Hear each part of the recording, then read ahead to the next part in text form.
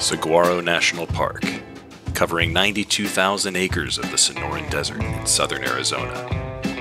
This landscape may appear barren and uninhabitable. However, it is in fact teeming with incredible biodiversity, including at least 19 species of lizards. Larry Jones, also known as the Lizard Guy, is a wildlife biologist who has dedicated his retirement to studying these lizards, with a particular focus on two charismatic species.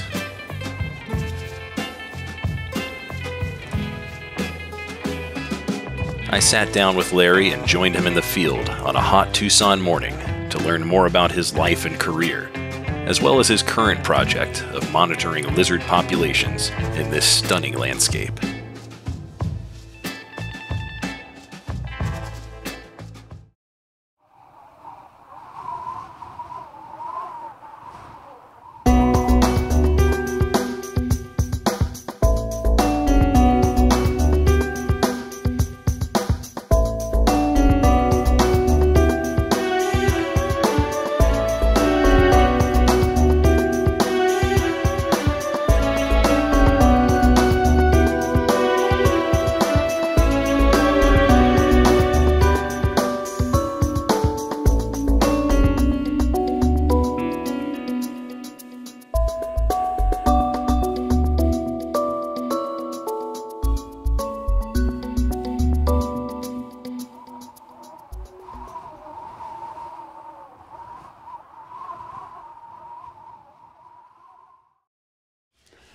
My name is Larry Jones. I'm a wildlife biologist by trade. I'm basically retired, although I do have a uh, small job right now working with reptiles. And I spend most of my time looking for lizards. I grew up in Southern California, um, but in about half my adult working life, I was working in the Pacific Northwest. And there I studied uh, salamanders and Pacific martens, which are fur-bearing mammals.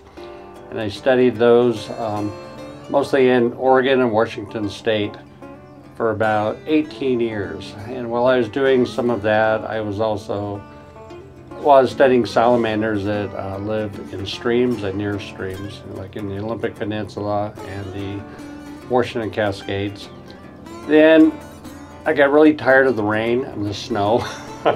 So I decided, somebody said, if you really want to live in Arizona, why don't you try to get a job there?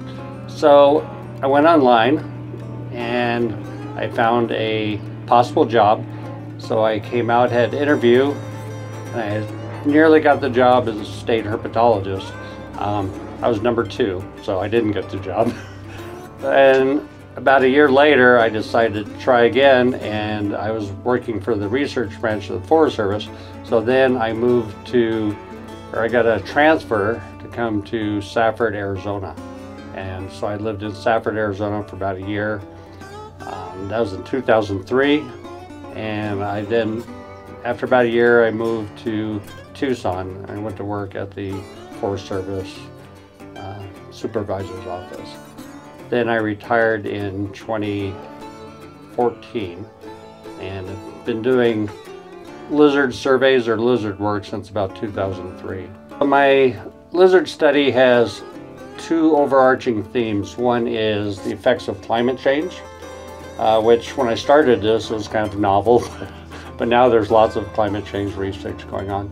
And the other thing is uh, how ecology, roadside ecology of lizards because something I've noticed ever since I was a kid really was that lizards like to hang out on berms of roads. And um, so when COVID came along, I thought I want to do a, a lizard study here at Saguaro National Park West. And later I also did Ironwood Forest National Monument. So uh, I was looking for desert iguanas uh, because somebody had mentioned that desert iguanas are one animal that's doing really well in the face of climate change because they're the most heat adapted lizard or vertebrate on Earth, really. They have the highest known uh, voluntary body temperature of any vertebrate on Earth. So I came out to Saguaro National Park. I drove around a little bit. I saw a bunch of the lizards, and that's I thought, well, geez, I should start doing this regularly. And then I started seeing a lot of long-nosed leopard lizards, which are common in some places like the Great Basin, but they're really quite rare in the Sonoran Desert and Chihuahuan Desert. So I was pretty excited to see some of those, and I said, well, if I'm going to study the desert iguanas, I want to study leopard lizards too. So my work is twofold. One is just cruising roads slowly. People think of road cruising and think of how to look for snakes or uh, toads or turtles or something. Uh, but you hear very little mention of it for lizards. So it's road cruising, but I'm really looking at the berm. So it's kind of like berm watching. I call that technique. I fish. I made the technique official by calling it low speed road transect and published a little bit about doing it systematically. And so I'll be doing that later today. And so that's uh, the two overarching themes. And so I've got a lot of data on climate change. I was actually, the 2003 surveys, I started out in Safford area. Uh, has the highest diversity of lizards in the United States of America. And I did 12 years of roadside surveys there.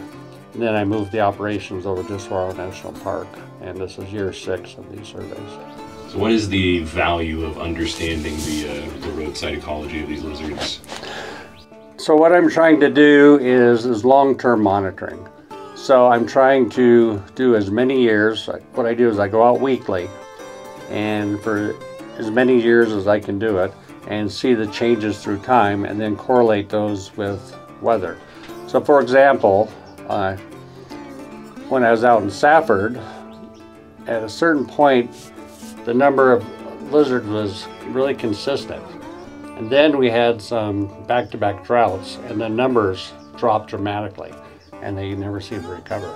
Although no species were ever lost. So I'm trying to do the same thing here in Saguaro National Park and we do find the effects of drought because winter drought is kind of the norm under climate change. And this time of year, this is the monsoon, this is a, a, season when we get most of our rain, especially during climate change. So today is going to be should be a really good day for looking for lizards because it rained last night and lizards seem to love the rain. Then the other thing I'm doing is from my early days working on um, uh, Pacific Martens, I really love doing radio telemetry because you can really find out a lot about an animal from radio telemetry. And so I caught some desert iguanas and put transmitters on them first. Now this is the first time anyone's ever really done a field uh, field work with radio harnessed desert iguanas because they're kind of notoriously difficult to work with. Um, but I got some really interesting results. And then the, the next year I decided I needed to put some radios um, transmitters onto the long-nosed leopard lizards. And uh, some folks have done that before, and there's a lot of work being done on short-nosed leopard lizards, blunt-nosed leopard lizards, because they're an endangered species. But I'm finding out all kinds of information, and they're much easier to work with, and they're a little hard to find, but once I find them, I can get a collar on them, and I can always re-find them and uh, take the collar off as needed. So everything I'm learning about leopard lizards is almost, it's kind of new. so it's pretty interesting. This year there's a focus on where they sleep at night and uh, if they sleep during the day, the heat of the day. So I have some volunteers and I send them out in the heat of the day. Sometimes it's up to, you know, 107 or something. And so it's kind of rough, but they take lots of breaks and stay cool. Uh, and we're kind of tracking what goes on with leopard lizards. So do they just come out once or they come out twice? They use daytime burrows? How do they use those burrows? Do they reuse those at night? So there's many questions we're trying to answer this year. So say I am complete, I'm a total lay, layperson. Okay. What would you say to me to make me think that, that desert iguanas and leopard lizards are cool? Okay, so we'll start with the leopard lizard. I think they're cool because they're really tough animals. Um, so every time I catch one, they usually, almost every time they bite me. They bite really hard.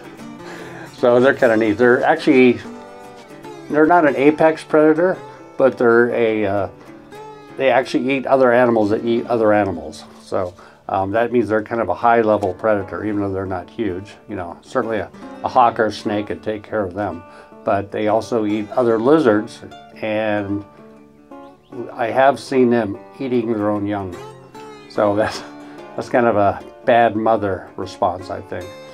But the theory is that the adults go into brumation or hibernation before the juveniles, and the juveniles stay out for a while after they go into hibernation, so they avoid contact that way. But if they're at the same place at the same time, the little one doesn't have a chance.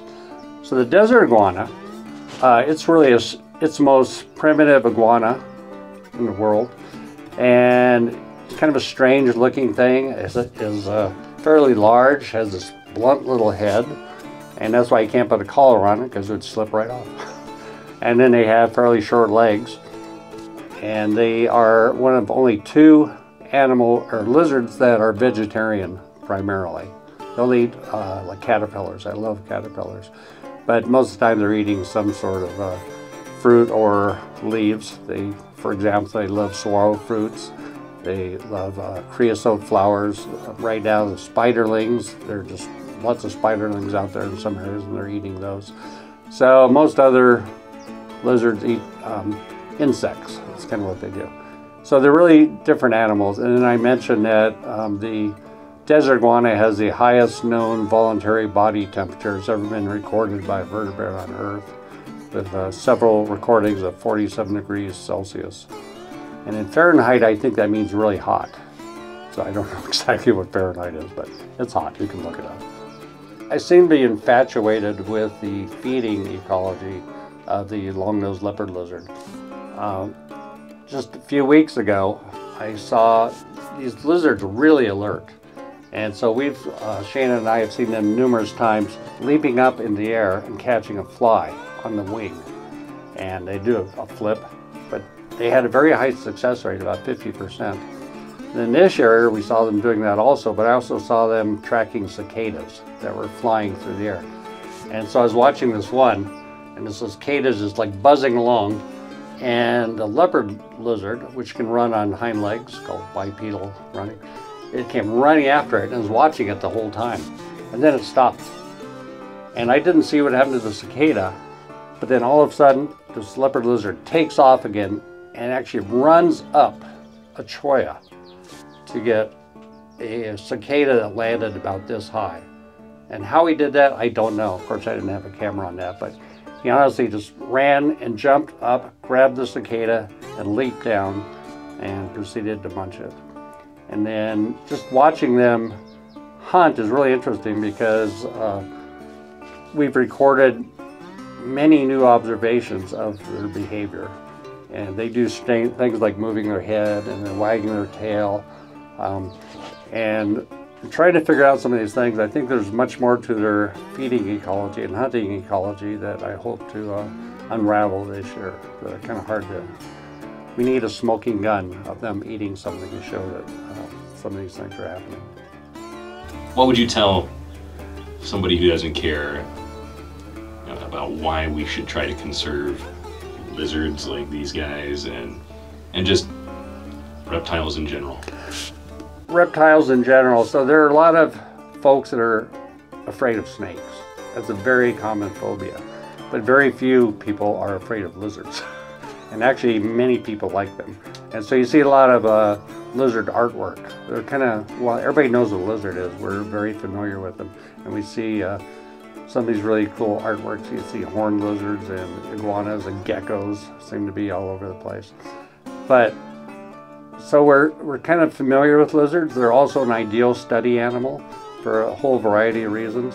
One thing I've uh, tried to make happen is lizard watching. So people are familiar with bird watching. So you can do lizard watching just as easy. You get a pair of uh, like close focus binoculars and we can go on walks. So many years ago I started a lizard walk in Sabino Canyon and it's still going to this day. It started with urban youths. So the idea is that uh, youths that just pretty much stay indoors and play video games are not really experiencing the real world and they're, they're getting a deficit of uh, natural life.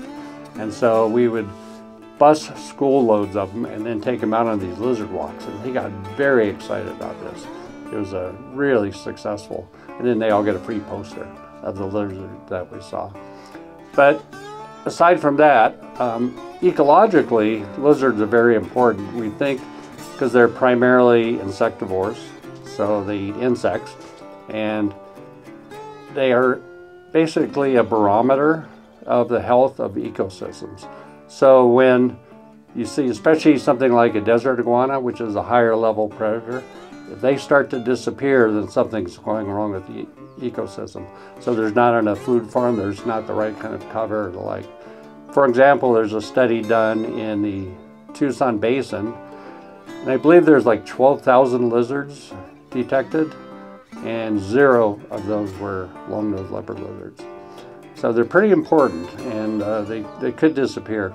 So they are barometers and they're just important in the food chain and they're also kind of like little sausages because everything out there wants to eat them. Snakes eat them, uh, raptors, birds of prey eat them, roadrunners eat them. Uh, so they, they have a tough life out there. Let's go look for some lizards. All right.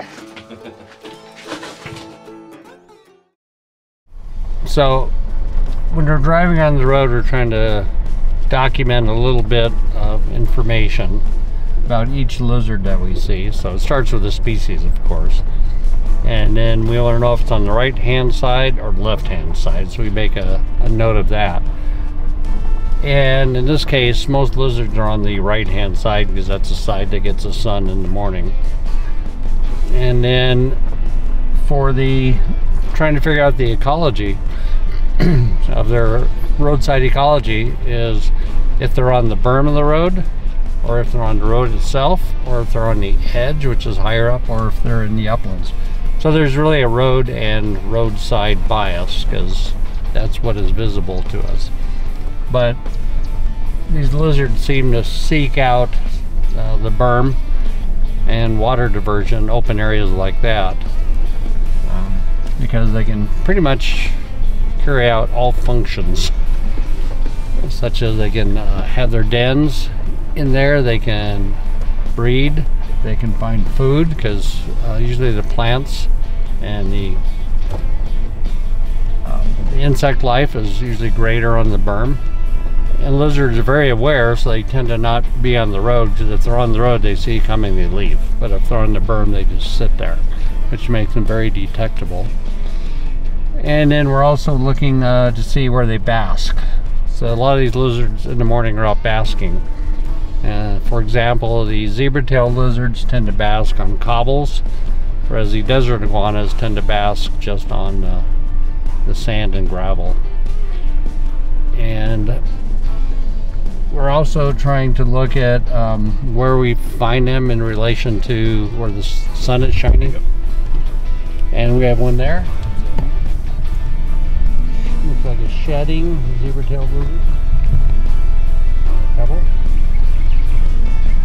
That's ugh, on the berm.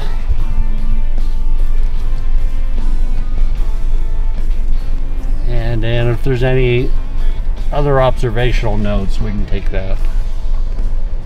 So sometimes we see animals feeding or we'll see them mating or something like that.